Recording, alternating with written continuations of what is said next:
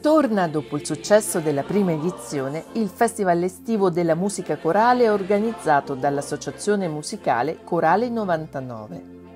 L'appuntamento è per domenica 23 giugno alle ore 18 nella suggestiva cornice della Chiesa del Crocefisso dentro al Parco del Castello dell'Aquila. Quest'anno torniamo appunto con il secondo anno e l'anno scorso c'erano stati i quattro cori storici della città dell'Aquila Quest'anno invece ospiteremo due cori, eh, uno di Scurcola Marsicana, diretto da Monica Tortora, e il coro di Pescassero diretto da Anna Neri, con un programma leggero, visto appunto la location che è all'aperto,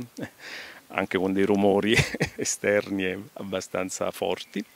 E, e, noi faremo una breve introduzione con solo tre brani, eseguiremo 99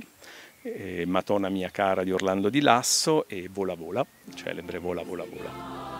Organizzata nell'ambito della Festa della Musica promossa dal Ministero della Cultura in collaborazione con l'Associazione per la Festa della Musica, la manifestazione si avvale del patrocinio di Arca Cori Abruzzo e Fegnarco, che aderiscono all'iniziativa, oltre al patrocinio del Comune dell'Aquila e della Regione Abruzzo. L'importanza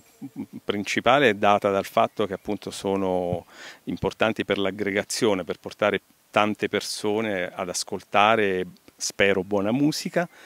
e soprattutto per quanto riguarda la corale appunto richiamare più persone possibile a cantare, a stare insieme e a fare, spero, belle cose.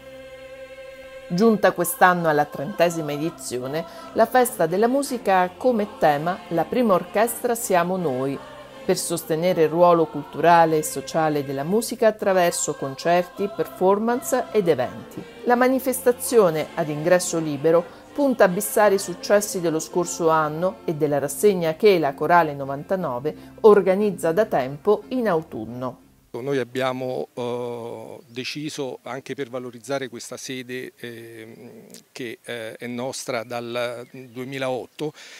e volevo cogliere l'occasione per ringraziare le amministrazioni comunali che si sono succedute che ci danno l'onore di eh, poter usufruire di questa sede e a nostra volta di metterla a disposizione della, della cittadinanza dell'Aquila ed offrire appunto questi appuntamenti in questo contesto che è veramente imitante.